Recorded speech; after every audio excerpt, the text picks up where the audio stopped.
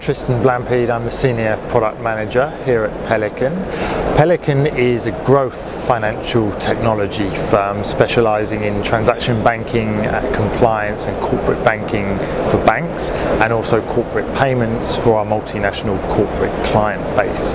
We've been around for about 20 years now and we've got a healthy geographic split of our clients between North America, Europe and Asia. We inject artificial intelligence into all of our solutions to give them that extra boost and, and, that extra power over and above what you might get with a with a traditional product set. So for example, an organization running at about 80% efficiency, say in their payments business today, might struggle based on their current technology to get past that 80%. By leveraging artificial intelligence, it really brings you to the next level of cost efficiency and savings. Clients are finding onerous regulatory obligations particularly challenging as well as uh, particularly for the incumbent banks legacy system challenges certainly in Europe and, and the UK where a lot of technology stacks are more dated. One of the ways that banks can address these challenges is by leveraging new technology, technology that is interoperable with existing components but at the same time can enable them to offer products and services that they might not be able to based on their current technology set. About Pelican specifically, it is the, the long-standing deployment of, of, artificial intelligence. It is very true that there are other transaction banking and compliance and corporate banking providers. Few of those solutions, first of all, layer the disciplines of, of AI that, that we do and have that experience of doing so, but also all of our applications and solutions were developed in-house. So we are not the result of mergers and acquisitions and licensing third-party applications. We created all of our platforms ourselves. So as a result, for example, our compliance platform covering things like sanction screening and anti-money laundering is completely compatible and interoperable with our payments and our transaction banking solution. That means that the two work seamlessly together and you don't get the kind of errors and failures and complications that occur when you bolt together two systems that were never designed to work together from the outset.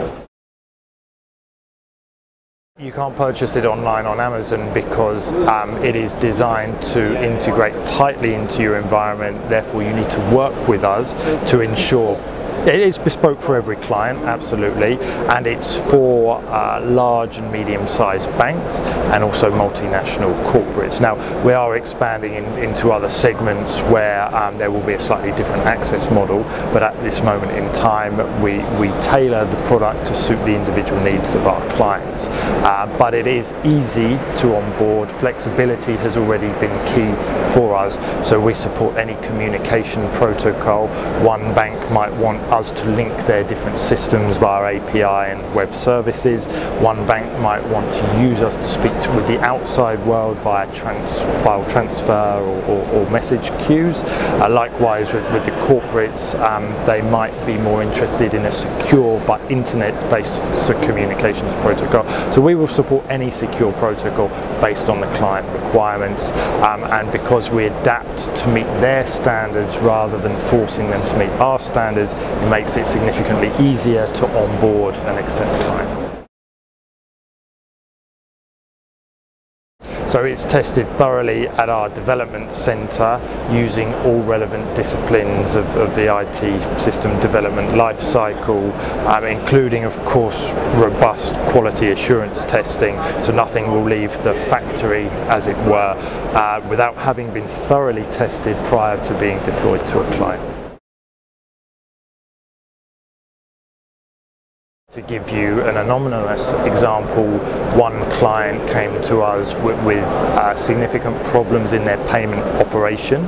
They were suffering from uh, manual repair rates of around 40%, so their straight through processing or, or STP rate uh, was only about 60%. This was causing them um, huge overheads in terms of the manual solutions that they had to, to throw at the problem and, and also in terms of the risk because of course a, a manual human-based solution is prone to, to error and, and, and, common mistakes. So we deployed natural language processing, which is a discipline of artificial intelligence, into their payment operation to undertake complex repairs of all of their, their payment channels, um, in particular for cross-border and correspondent banking payments. Uh, we introduced uh, artificial intelligence into their routing operation as well to send some payments that would have gone via an RTGS network instead via ACH when they, when they were going via a domestic channel. So as a result, their straight-through processing rate shot up to 96% um, and they're saving several million dollars a year in terms of their overheads. One particularly good one that, that, we leverage is machine learning.